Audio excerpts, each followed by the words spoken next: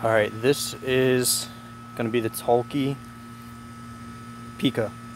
Not sure if I'm saying either of those right, to be honest with you. get this in frame. This is a two-piece. Um, I would have honestly preferred the one-piece, but he... What happened was I was looking and I was talking to Dan Toelke, is, you know, Toelke Bows. That's his son Jared, I guess, is now a big part of the business, does a lot with online. And um, I was actually speaking with Jared online. Phenomenal customer service type deal. You know, answered every question I had, very quick to reply. You got to figure these guys are working. It's not like they're sitting at a computer waiting to answer questions from you. He's quick to get back to me. And when you call, and I spoke to Dan, you know, they both tried to help me find what I was looking for. Um, and it ended up they had this 54 inch, yep, 54 inch Pika, Pika in stock. Um, I forget the names of the woods and I want to say it's like a micarta material in the riser. You know, you're not really concerned with what bow woods I have. That makes no difference to you. But 51 at 28, which was right in my wheelhouse of what I was looking for. I draw just under 27. So this is perfect for me, for what I was looking for. It's a nice shot. That gets the woods real nice there. Look at that. Um, this is the two-piece. You've seen videos of how they go together, I'm sure. This isn't how you put the bow together, how you string it. This is more of an overview of how the bow feels and shoots and that good stuff. The two-piece has a little bit more mass in the riser because of that bolt takedown system which is why I probably would have preferred the one piece to be honest because I like light short bows. Not that this is heavy by any means, but the lighter the better for me. Just, I'm usually walking, carrying stuff. I'm lazy, so the, the lighter the better in my mind. I'm hunting. I'm hopefully taking one shot. I'm not looking to, you know, sit out here with these bows for hours on end shooting or going through tournaments or stuff like that. Um, I just want to give some feedback dealing with these guys though. This is um, you know, this was a brand new bow. Customer service was great. The fit and finish of this bow is amazing. You know, you're paying for a quality bow and you expect a quality bow. This is, again, this is, uh, I don't know what glass he uses, but if you, it is a little bit more glossy than if you watched any of my other videos recently, which are actually today. Um, bear paw glass on the shrews and stuff like that, or the bodnik bows, is a little bit of a satin rough feel. This is a lot smoother. A lot, you know, a little bit more glossy, but depending on the veneers, it has a toned down look to it, but smooth. But the problem that comes with clear glass sometimes, and I've seen this on tons of bows, is you get a little bit of cloud or streaking. I'm not sure if that's going to show up uh, you can't see it unless you get really close. In some spots, you might see a little streak here and there, which is fine with me. I don't care. I'm not going to be upset about that. Um, I want to show the tips are very thin, pointed. They look similar. They're slightly different on the bottom. It's a little bit, I'll say, more rounded. Show the bottom view of that. You know, very thin limbs, very thin tips quick and quiet. You know, this is a a snappy bow, I'll say, I guess. Um, draws smooth, hits hard. I don't have a chronograph set up again as the other two videos. I'm waiting for arrows, shafts to come in so I can build arrows for each particular bow and really tune them. Then hopefully I'll get around to doing a chronograph and everything else. Um, the bow comes with obviously the two piece, you know, the string has a can see it, a tied on nocking point you're to have to adjust a little bit. He puts cat whiskers on his strings. There's, that's showing up there. Strike plate and rest, you know, everything's there. It's set up, ready to shoot. I want to quick say, you know, a testament to spending money with this guy. Um, this is the the takedown case that he sends you. This is an, um, an amazing quality. This is a nice leather two compartment case with the loops. This, you know, just, I was kind of taken back when the case came with it. I was thinking I was going to get like a little sleeve or something. The leather on that, you know, you you know, you're spending money with this company, this guy, and he's really working to keep his quality and reputation up, which I appreciate. As far as I know, the one-piece bows come in a similar, you know, obviously a longer single sleeve, but you know, it's a little bit above on their end, uh, which is awesome, you know. Hopefully you can see the quick profile of this bow on the ground there. Nice long bow. Um, you know, feels good, it's light. It feels good in your hand. I will say, if I balance, if I put my thumb, if you could see that, it's a slightly bottom heavy design.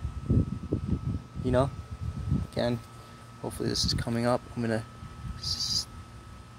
you know, if you stick your finger right in that throw to the grip, the bow tips down. Um, I don't know if that's good or bad. Some people may like that. That's why I'm trying to do this was just to give some feedback and reference for people. Um, when I was looking to buy these bows, nobody had videos really posted of this type of stuff. And, you know, it has a nice little thumb shelf here. It's no leather or anything on the grip. Obviously, it's a two-piece, so that would be hard to do. Seamless, you know, gap. You cannot feel that at all, which is cool. Everyone's like, oh, I'm worried when I buy it, you know, but everyone says the same thing. So, you know, take it as what it is. It's, you're not going to feel that seam. You're not going to know that seam is there. Um, this bow, again, being the, the bottom heavy, kind of, if you're gripping it, kind of tips right in the web of your thumb if you like that style. Um, narrow grip, you know, if you really just two finger it, get it, if you really just let it sit in there, it feels good, you know, it, it's nice on the draw, it pulls right into the web of your hand good. I'm going to go ahead and walk up to the target and lay my phone down and give you the perspective of the arrows from the target's vantage, see how quiet or loud you think this is. Um, you know, I'm not going to compare it to other bows right now. I'm going to let you do that.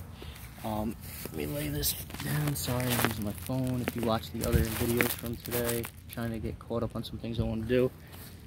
Here's target. I'm going to go about 12 yards, take like four shots, Again, these arrows are not perfectly tuned to this bow.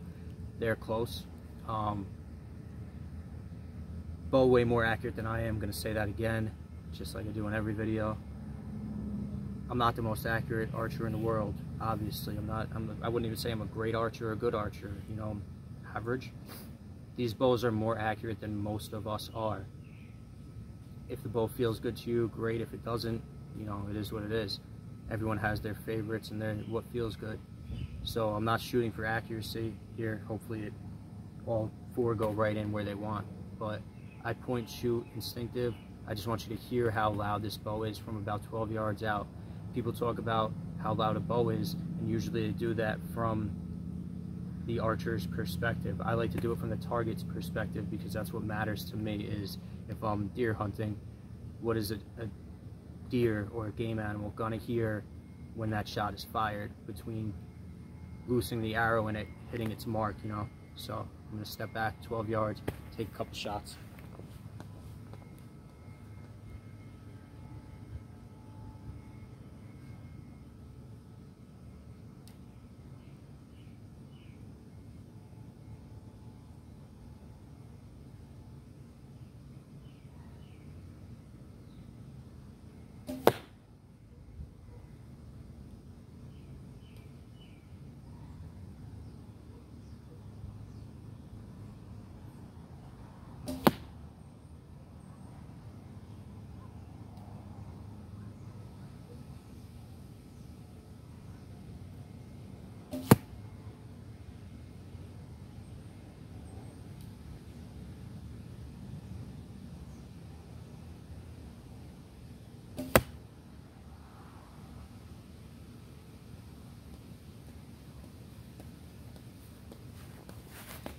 Now, what I'm going to say is that was not really accurate at all. Low and a little bit to the right on the grouping. Not a great grouping at all, especially for 12 yards. Um, you know, needs, let me pull these out of here and step back into the shade quick. Needs, uh, probably needs tuning on the arrow part and the bow. Um, I didn't adjust those down. I didn't, haven't adjusted the nock point or anything really, the brace height. Um,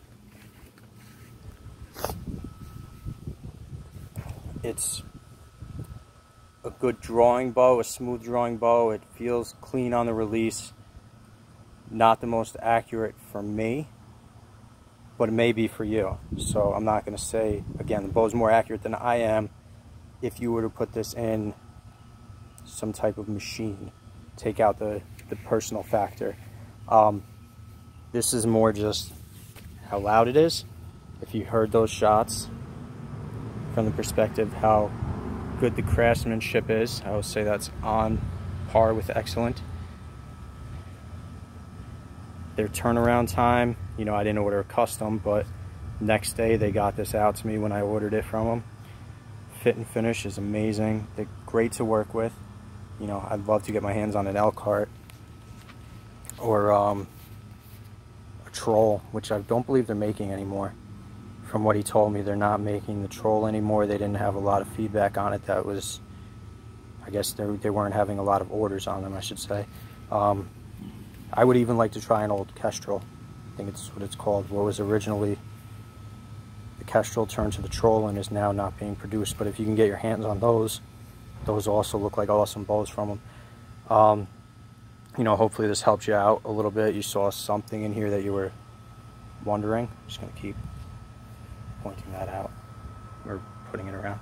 Hopefully there was something in here that, you know, you were looking to see and saw or whatever. Um, any questions you can ask. Hopefully this helped you out a little bit.